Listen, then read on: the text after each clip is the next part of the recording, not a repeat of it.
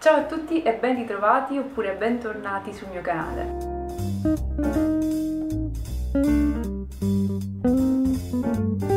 Il video di oggi è dedicato, come avrete intuito dal titolo, ad una fragranza storica, un pilastro della profumeria che io amo moltissimo e sto parlando di Quelques Fleurs di Ubigan. Ubigan è una maison storica, una maison che ha aperto i battenti, pensate, nel 1775 ed era anche una, una maison prestigiosa. Pensate che perfino la regina Maria Antonietta utilizzava i profumi di Ubigan e ci sono tante leggende in merito a questa storia. Una di queste leggende, ad esempio, vuole che la regina Maria Antonietta in fuga con la sua famiglia fu riconosciuta e tradita proprio per la fragranza che indossava. Travestita da donna del popolo passò inosservata, ma quando le guardie fecero un controllo più attento e accurato, sentirono il meraviglioso effluvio che proveniva eh, dalla sua pelle e dai suoi capelli e fu subito riconosciuta. Non sappiamo se, se è verità, però questa è una delle leggende che si narrano. Flare fu creato nel 1912, questa non è una versione del 1912, io vi sto presentando Quelques Flare che si presenta con questa boccetta um, carina che non mi fa impazzire, però quando la vediamo dal vivo vi assicuro che è molto meglio rispetto a come può sembrare nelle immagini, si sente che è comunque un prodotto di qualità perché è bella solida, abbiamo poi dei fiori che appunto sono a rilievo che non, non vedete ma cercherò di farvele vedere appunto qui sul video. E anche il tappo è abbastanza pesante, dorato, si sente insomma che è un prodotto di un certo tipo, non è qualcosa di, di, di cheap. Come vi dicevo, Kelkfer, l'originale, che è quello che vi sto mh, appunto presentando e di cui vi parlerò, è una fragranza che è stata riformulata nel 1985 e che rilancia, um, riporta in auge insomma questo grande classico della profumeria che è stato realizzato nel 1912. Ovviamente non è lo stesso, la formula mh, originaria di Kelkfer è custodita gelosamente presente nei caveau della Maison ed è un profumo che è stato realizzato da Robert Bienon, spero di averlo pronunciato bene. Kelk Flair è una fragranza aldeidata, quindi è una fragranza che contiene degli aldeidi non in quantità enormi come nel caso dello Chanel numero 5, ma sicuramente una delle prime fragranze a contenere queste componenti, a contenere le aldeidi. Non la prima, ma una delle prime. Quindi sicuramente le aldeidi fanno sì che la fragranza si apra in questo modo super luminoso, con quel tocco soapy saponoso che caratterizza tutta la fragranza. Il profumo è passato alla storia ed è famosissimo soprattutto per il fatto che è il primo bouquet floreale della storia, quindi non è un profumo incentrato in un solo e unico fiore, ma contiene davvero un bouquet di fiori. Chissà, forse il profumiere fu ispirato da quello che è lo stemma, da quello che è proprio il simbolo della Maison Vigan fin dall'inizio, ovvero fin dal 1700 Settecento e questo stemma è la corbeille des fleurs, cioè proprio la, il cesto di fiori, che è molto molto grazioso e che ancora oggi si trova su alcuni packaging. Anche se quelques fleur significa letteralmente qualche fiore, in realtà è, è un po' modesta come definizione perché in realtà quelques fleur contiene davvero una grande quantità di fiori. La leggenda vuole che per realizzare una sola oncia di quelques fleur furono necessari e sono necessari circa 15.000 fiori e 250 differenti intima delle prime.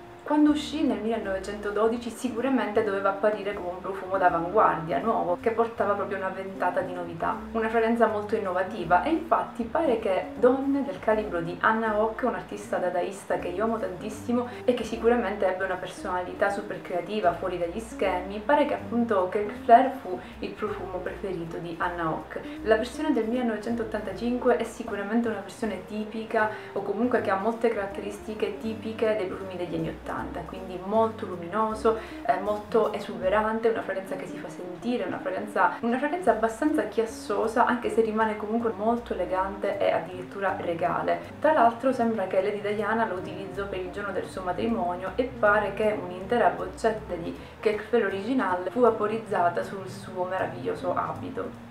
Fu un profumo molto amato e apprezzato anche dal, dal poeta Rilke che sembra che lo utilizzasse sotto forma di lozione e sapone per il corpo. La fragranza del 1985 pare sia più animalica rispetto a quella originale che era più fiorita e aldeidata. L'apertura della fragranza è molto verde, quindi si, immediatamente la fragranza si presenta come un floreale aldeidato, luminosissimo e verde, molto molto verde, ma piano piano con il tempo, con il passare dei minuti, anche delle ore, comincia proprio a fiorire questo cuore che contiene una quantità enorme di, di fiori. Se date un'occhiata alla piramide sul sito di fiori vegan vi renderete conto di quanti fiori ci vogliono per la realizzazione di, questo, di questa meraviglia. E devo dire che la base è quella che mi piace di più, almeno sulla mia pelle sui miei vestiti, perché è avvolgente, calda, ma non perde mai quel tocco di pulito, di saponoso che contraddistingue la fragranza e che ha proprio l'aria di una fragranza di lusso, cioè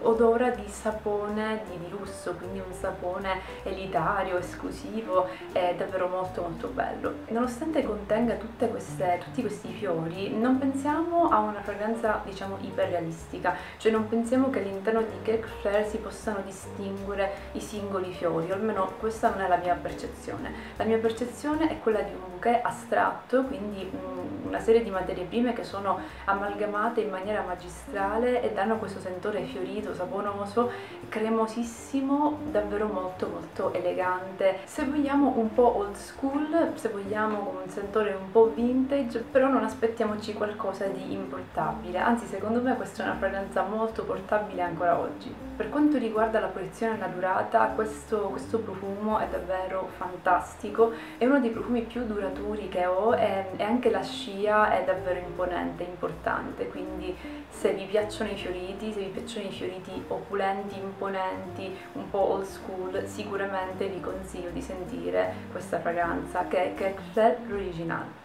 Successivamente nel 2009 è stato creato un altro profumo che ha più o meno lo stesso nome ma è una fragranza completamente diversa ed è Cake Flare Royal. Io posseggo un bellissimo sample che mi è stato regalato da Paola che saluto tantissimo. Vedete come appunto qui sulla, sul cartoncino del sample si vede la corbeille des fleurs, quindi proprio il, il cesto di fiori, lo stemma tipico della Maison. Cake Flare Royal è sì un profumo molto molto fiorito ma è anche una fragranza al miele, quindi qui è la freschezza dei fiori fiori e combinata alla dolcezza cremosissima del miele e della vaniglia. Vi farò una recensione proprio diciamo interamente dedicata anche a lui. Sicuramente il Cake Fair Royal è una fragranza più moderna, più adatta a chi non ama i sentori vintage di una volta. Siamo arrivati alla fine del video, spero tanto che vi sia piaciuto. Fatemi sapere nei commenti se conoscete Cake Fair l'originale, se vi piace e cosa ne pensate. Grazie di avermi seguito fino a qui e ci vediamo al prossimo video. Ciao!